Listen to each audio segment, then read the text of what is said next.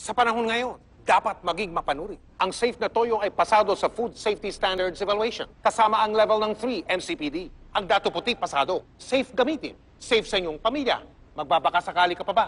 Dato puti, ito ay safe.